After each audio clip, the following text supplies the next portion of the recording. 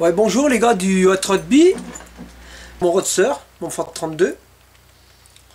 Ma manière est bonne. Alors le plus dur pour un cellier, je ne suis pas cellier moi, pas du tout. hein. J'ai fait un petit stage d'une semaine, c'est tout. Euh, le plus dur à faire, c'est faire des cotes sur du vide. Voilà. Donc, j'ai coupé approximativement du plastique, j'ai pris des cotes approximatifs, que j'ai assemblé, euh, que j'ai coupé dans du plastique transparent, un peu avec de la tenue quand même. Hein. Euh, je l'ai tout scotché sur mon Ford pour imiter une capote.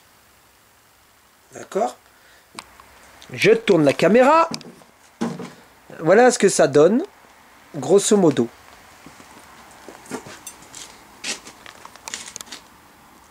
Donc voilà. Alors, avec un marqueur. Vous savez ce que c'est qu'un marqueur?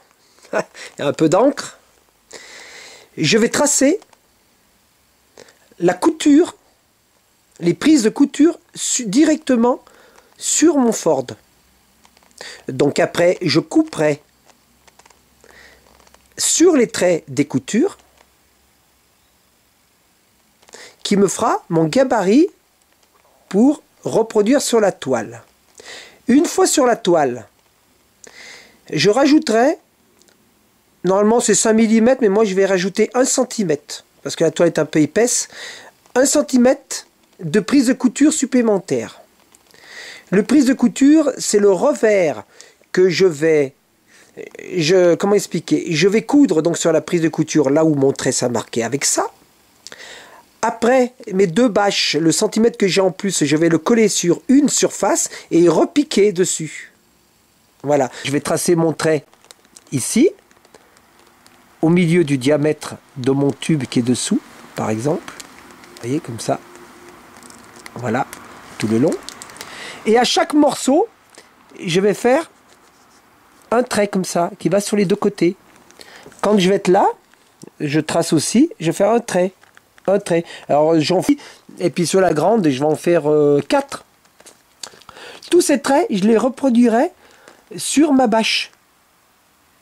On est d'accord?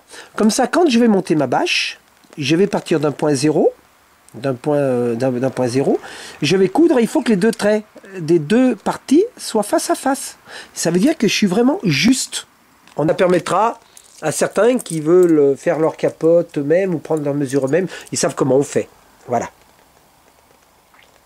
Par contre, il faut savoir que vous aventurez à faire votre capote vous-même sans avoir une grosse machine à coudre professionnelle, c'est même pas la peine. D'accord? Vous oubliez, vous mettez dans les olivettes. Hein ouais, d'accord? Donc d'occasion, c'est 2000 euros une machine.